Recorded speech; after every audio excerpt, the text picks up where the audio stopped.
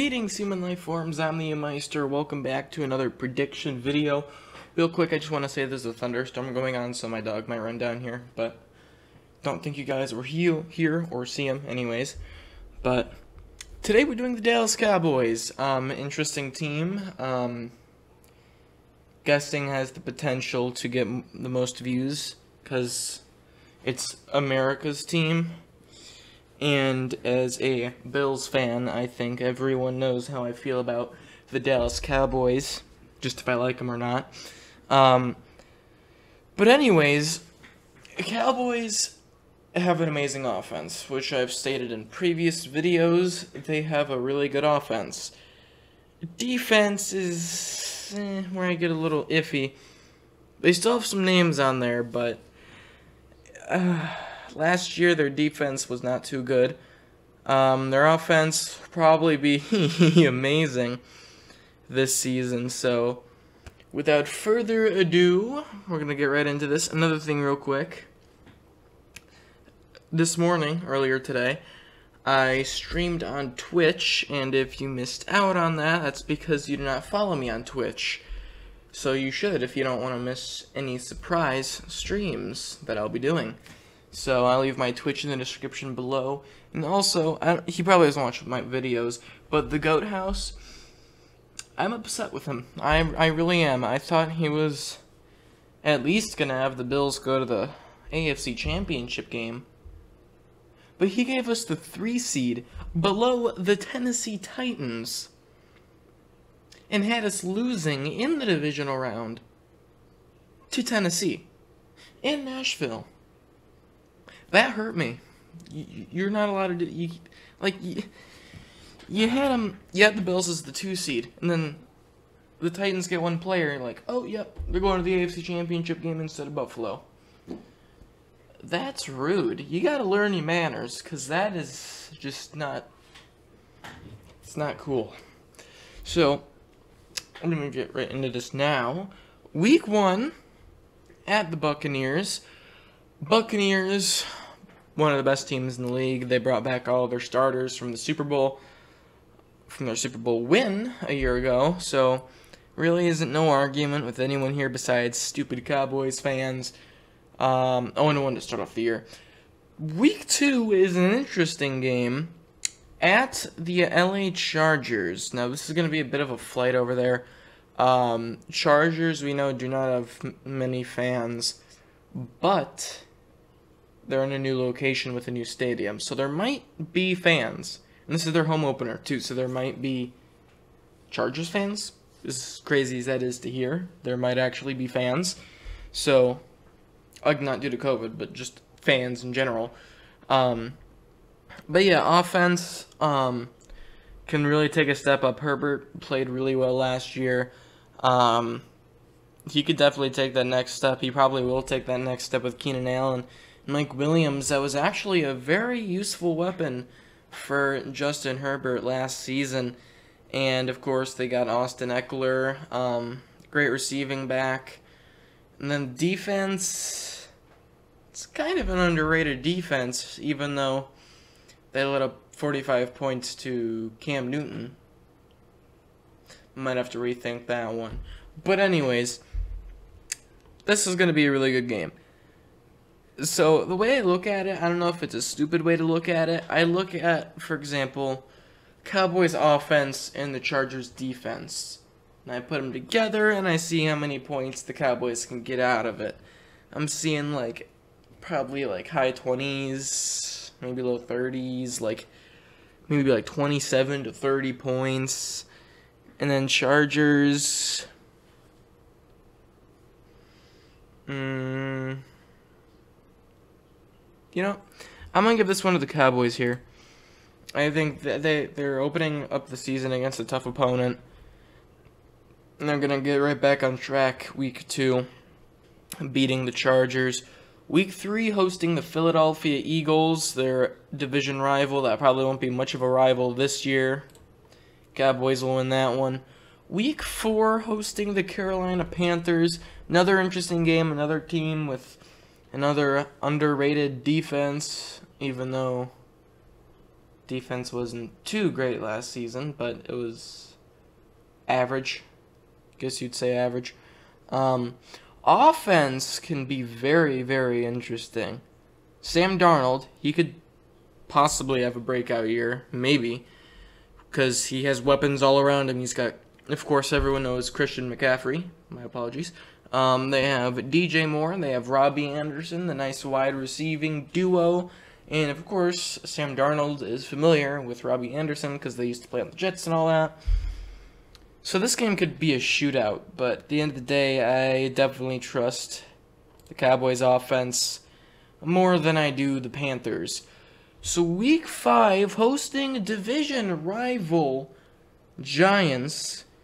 Week 6 matchup Ooh. This is oh man.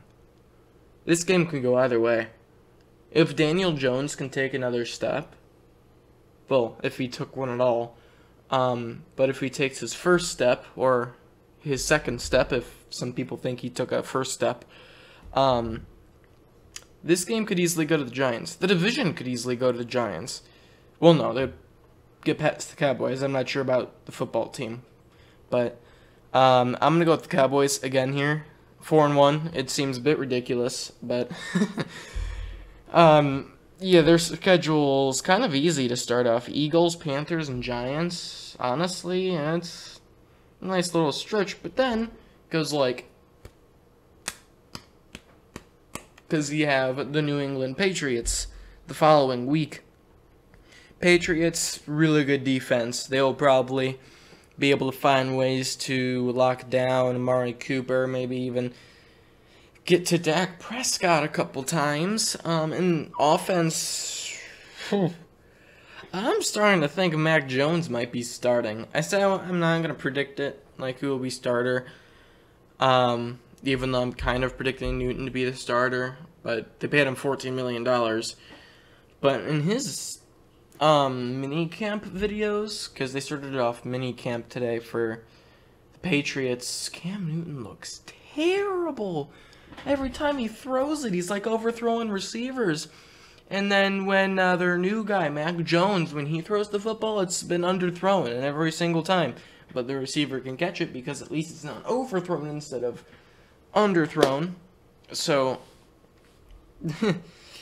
Well, I mean, it was a rainy day, but I think that's kind of a dumb excuse.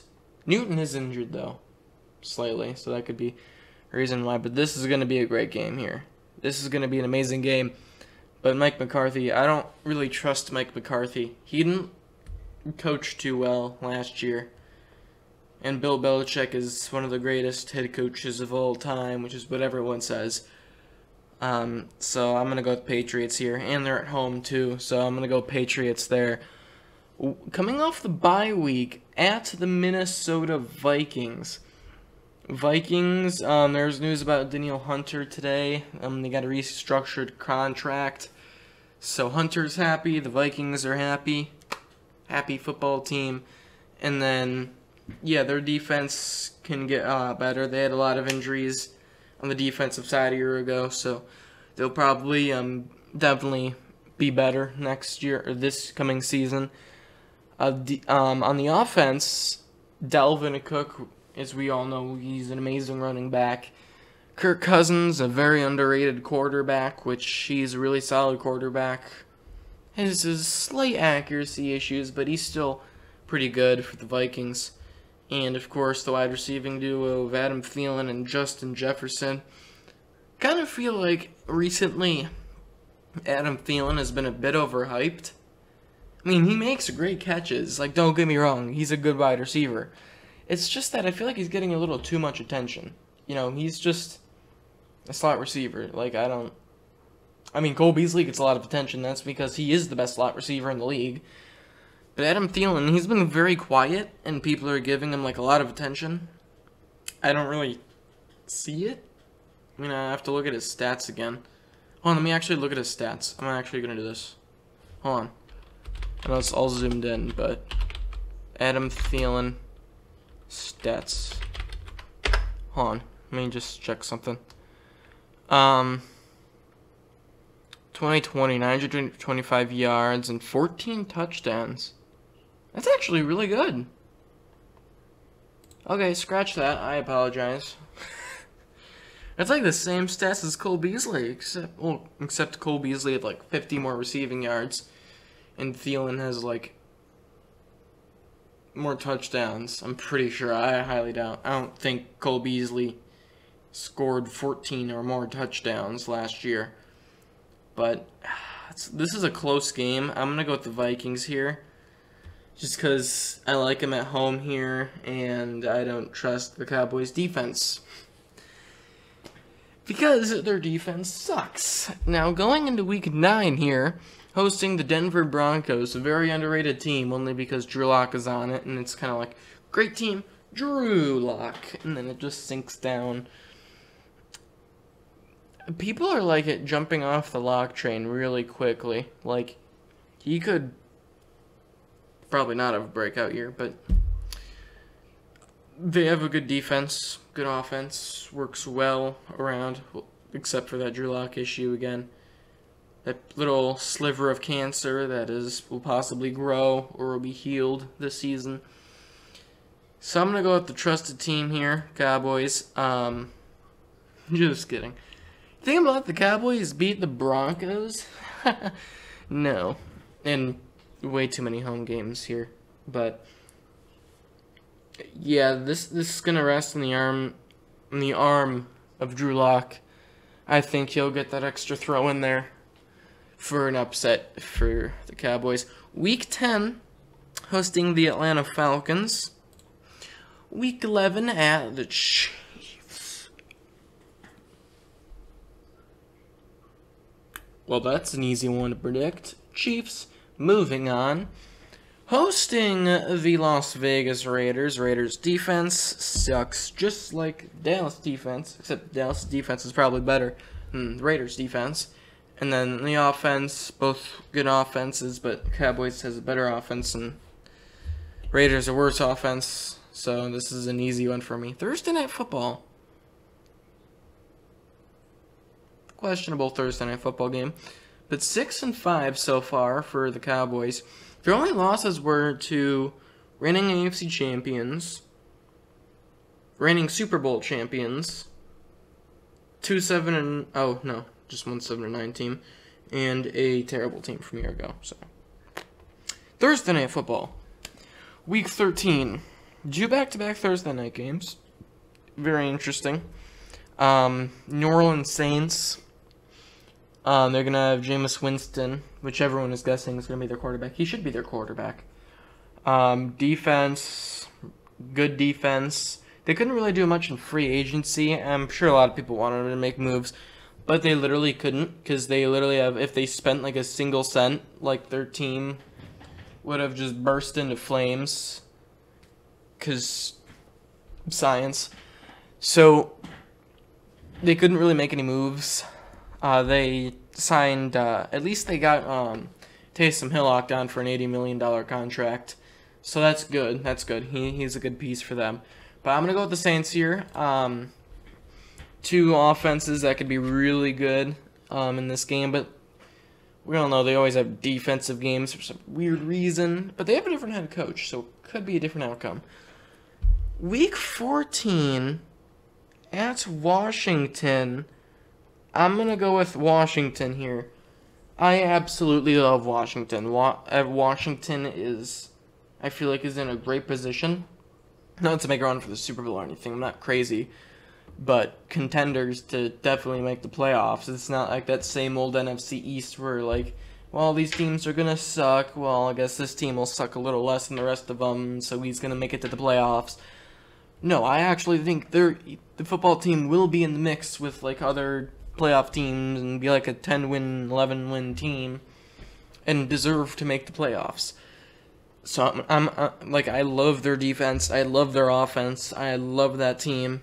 Ron Rivera, good head coach too. He even coached my Sean McDermott. So love him. Week 15 at the Giants. Mm.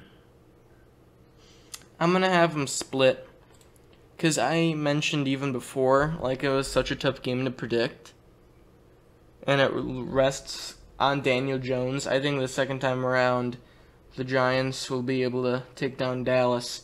Week 16. Mm. I gotta do it. I'm sorry. I'm sorry. I really like Washington. I just really like Washington. I feel like they're a very underrated team. I don't care how many people lash out against me. Any Cowboys fans. And I'll probably laugh if Cowboys fan talks, but hmm. Uh, yeah, Washington is an amazing team. I love their team. I can't talk about them enough, how much I like them. So, enough of me rambling about Washington. Moving on to week 17 hosting the Arizona Cardinals. I'm going to have. Pretty sure I had Cardinals in this one, if I'm not mistaken. Oh, no, I'm wrong. Yeah. I was going to pick Cowboys, but I thought I'd pick Cardinals. Um, yeah. This is going to be an offensive battle here. This is a huge game for Dallas. If you look at their record up here, 7 and 9, they really need this win. So they'll probably scrape out a win against Arizona and then end up the season at Philadelphia, and they will end up the season with the win because the Eagles suck. I just realized something hilarious. 8 and 9 for the Dallas Cowboys. You absolutely love to see it. You love for them to suck even more, but you can't make fun of them as much if they're not 8 and 8 or 8 and 9. 9 and 8 would be like a bummer. But they're going 8 and 9 this season. Um might be a playoff for the Cowboys, maybe not though. I think after this season they are going to take Mike McCarthy and split him from the Dallas Cowboys because I do not like Mike McCarthy. I liked when he was with the Packers. I do not trust him after the season that he had in his first season with the Cowboys, even though Dak Prescott got injured, but one player doesn't make a whole team because we saw, for example, Tom Brady, he got injured a while back. They still made the playoffs with the backup quarterback, which might have been Garoppolo. Was it Garoppolo? I don't remember. But yeah, and they had Andy Dalton. I I don't think he's the worst quarterback in the world. I mean, he used to be a Pro Bowl quarterback and went to the playoffs like three years straight. He's he isn't a bad quarterback. Like if I go to hold on.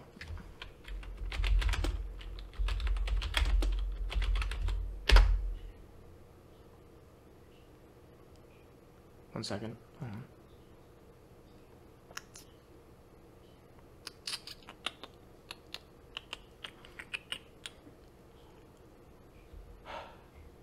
Why isn't it giving the actual stats?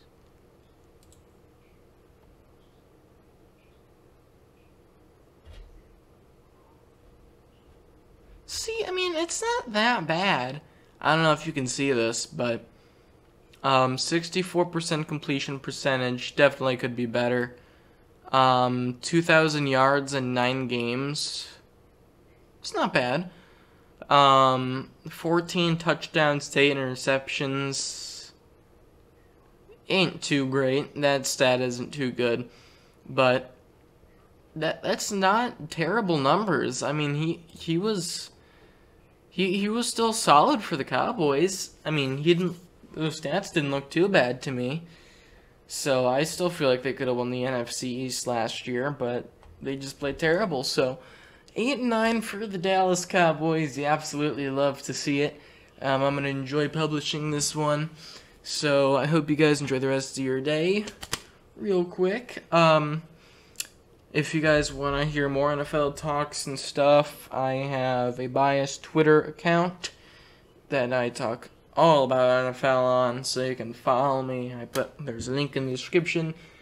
I am currently off-season McDerm because no one likes the Omiester on there. I made all my fans through McDerm, so no one really cares about Meister, but still me. So really close to 1,000 followers on there, so if you could follow me over there, I'd really appreciate it. At 1K, quadruple digits. Sounds amazing. And then I do have an Instagram too in the description below. Don't really use it that much. But if you want to support me, you can also follow me over there. So, hope you guys enjoy the rest of your day, and I don't have much else to say except my forms. Out!